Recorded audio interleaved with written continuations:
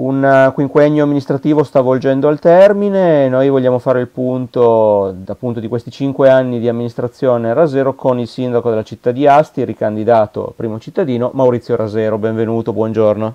Grazie, Grazie buongiorno. Allora, eh, siamo nel pieno del maggio astigiano che quest'anno si svolge finalmente nella sua pienezza per l'appunto.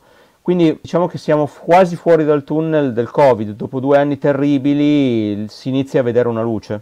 Sì, due anni, due anni critici dove abbiamo dovuto rinunciare a tante manifestazioni, a tante iniziative e per quelle, quelle che sono riuscite ugualmente a realizzare le abbiamo vissute in un altro modo, con forti limitazioni, con il minor numero di persone, con le mascherine.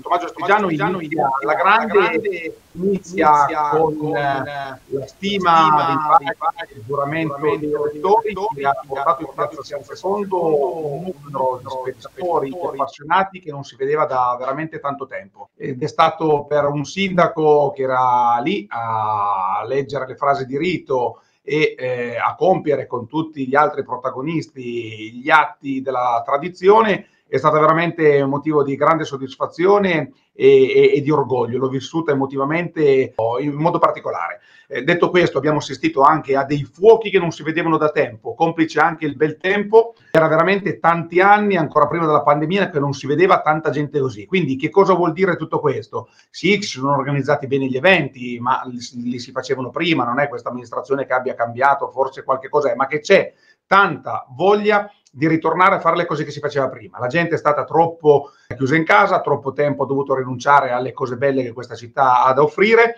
per cui di fronte a ad un'offerta di iniziative importanti al ritorno delle tradizionali feste e degli eventi classici eh, oggi del maggio astigiano, a breve saranno del settembre astigiano, la gente accorre e mh, mm, partecipa. Ci aspettano ora nei prossimi giorni tutte le altre iniziative, sperando nel tempo che, che tenga per cercare di fare in modo che vengano nel miglior modo possibile.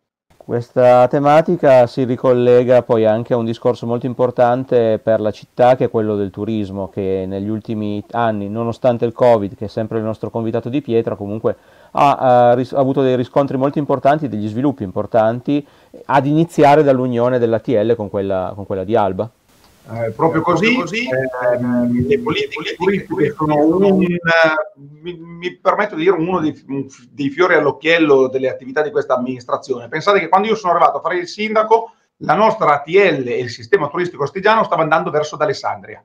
Già funzionava poco la nostra uh, ATL, o perlomeno, diciamo così, perché sennò sembra denigrare il lavoro di chi ci lavora ed è l'ultima delle mie intenzioni rispetto a tutte le persone che hanno lavorato nelle taglielle fino ad oggi, l'hanno gestita, è, però è evidente che il potenziale che abbiamo non era adeguatamente sfruttato per tutta una serie di motivi, ci vorrebbero ore per, per entrarci e, e spiegarli. La nostra TL stava andando verso Alessandria, un'altra TL che non era famosa non nel mondo, ma neanche qui in, in Piemonte per l'attività che svolgeva. Quindi due zoppi che assieme non facevano uno che eh, avrebbe imparato a camminare, ma uno che sarebbe caduto. E allora c'è stata una inversione di, proprio di idea, di campo, chiamiamola come, come vogliamo, mi sono confrontato con il sindaco di Alba, tra l'altro di un partito completamente diverso dal mio, quindi per dire che quando le persone di buon senso si trovano e quando c'è voglia di fare interesse del eh, territorio si possono mettere in piedi delle politiche e prendere delle decisioni che sono eh, trasversali.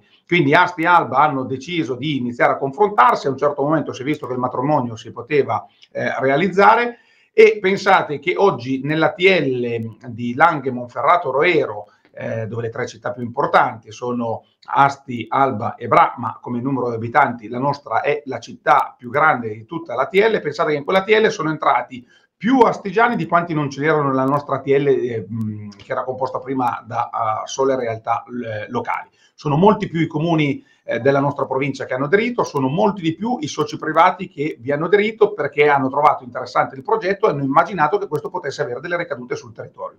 Dall'entrata con ehm, quest'altra eh, ATL sono scaturite delle politiche di promozione importanti che hanno saputo collocarci anche su mercati eh, sui quali eravamo meno presenti. Noi eravamo stati abituati a un turismo che era composto soprattutto da magari francesi, austriaci, svizzeri, i, quelli più vicini, poi magari qualche altro paese, ma in prevalenza quelli confinanti. Ebbene, nonostante anche la pandemia che ha fermato il turismo, la scorsa estate abbiamo visto persone che arrivavano dal nord Europa, eh, soprattutto dal Benelux, eh, Olanda, Belgio, Lussemburgo, ma anche danesi, persone che hanno riempito la città, hanno riempito le nostre magnifiche colline, patrimonio del, dell'umanità. Quindi questo è il segno che abbiamo saputo promuoverci su quei mercati nel modo adeguato. Ed è chiaro ed è evidente ed è oggettivo che eh, questo sta accadendo.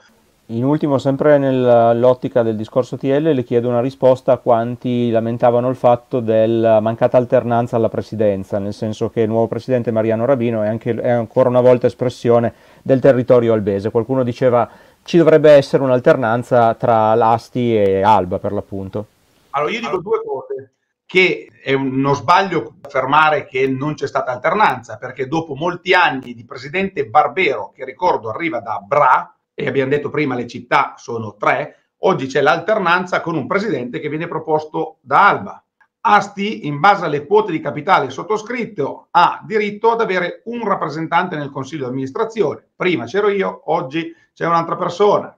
Per cui noi siamo presenti, siamo in grado di, non dico incidere perché non dobbiamo dire far più cose noi rispetto agli altri, fare delle cose assieme. Abbiamo visto che promuovendo bene un territorio ce n'è per tutti. Però purtroppo c'è gente che solamente parla perché la lingua in bocca e non eh, va a studiare, non va a verificare nel dettaglio le situazioni da poi poter eh, dare una propria versione che sia, diciamo così, inconfutabile. E quindi, come dicevo, c'è stata una presidenza per lungo tempo espressione della città di Bra, oggi c'è una presidenza da qualche giorno che è espressione della città di Alba. Per comandare, per contare all'interno di un qualsiasi organismo, eh, bisogna mettere del soldo, bisogna avere delle quote mm, della partecipazione. Se Asti ha una quota che è minima nel suo complesso, perché Asti non è solo il comune, ma diciamo gli astigiani tutti assieme, possono pretendere per quello che quella quota di partecipazione al capitale sociale gli consente. Io ho mai visto qualcuno che con il 10-15% eh, di un qualche cosa eh, comanda quel qualche cosa. Quindi con la cifra la quota di capitale sociale che l'Astigiano ha, può permettersi di sedere dignitosamente al tavolo con tutti gli altri, avere l'autorevolezza di pretendere de- delle, delle, cose, di chiedere il rispetto come lo deve anche dare e di fare assieme agli altri delle cose. Ma sicuramente non è una dittatura o non è la possibilità di andare ad imporre alcunché.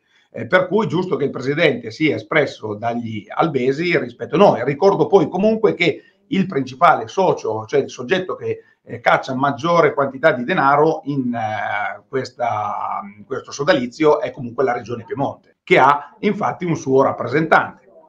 Io direi che per questa prima video intervista abbiamo affrontato l'argomento appunto turismo, ringrazio in modo abbastanza esaustivo.